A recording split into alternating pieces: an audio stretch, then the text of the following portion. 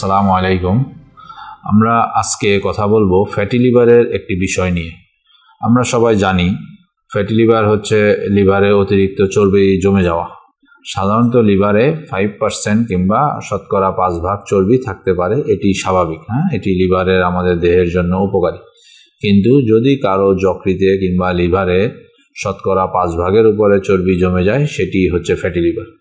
আমরা সবাই সাধারণত ধরে নিই যে যারা অতিরিক্ত স্থূল কিংবা অবেসিটিতে ভোগেন, তারাই হচ্ছে ফ্যাটি লিভারে আক্রান্ত হবেন।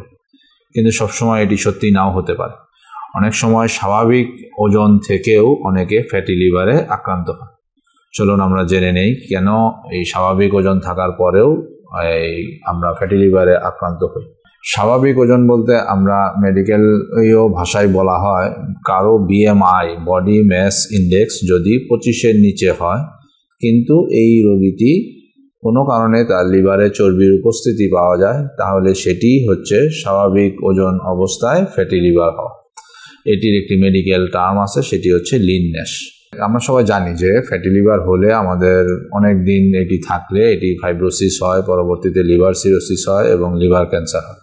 এই জন্য স্বাভাবিক ওজনের কারও যদি ফ্যাটি লিভার আলট্রাসোনোতে বলে, আমাদেরকে অবশ্যই সচেতন হতে হবে।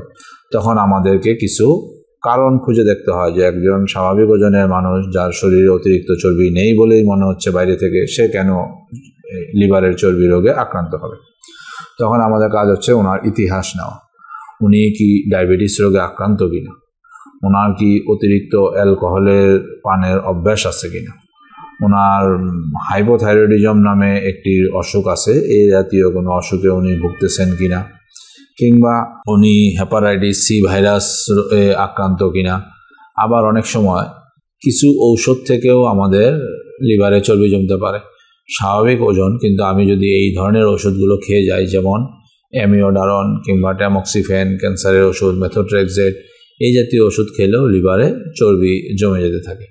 এছাড়া দুটি ফ্যাক্টর হচ্ছে জেনেটিক এবং এনভায়রনমেন্টাল যদি কারও পরিবারের মধ্যে থাকে এরকম যে তাদের লিভারে চর্বি সবসময়ই বেশি পারিবারিকভাবে জেনেটিকভাবে এবং তাদের জিনের মধ্যে একটি পিএনপিএলএ থ্রি নামে একটি প্রোটিনের উপস্থিতি পাওয়া যায়, তখন এই রোগীগুলো স্বাভাবিক ওজন থাকলেও লিভারে চর্বি জমে যেতে পারে।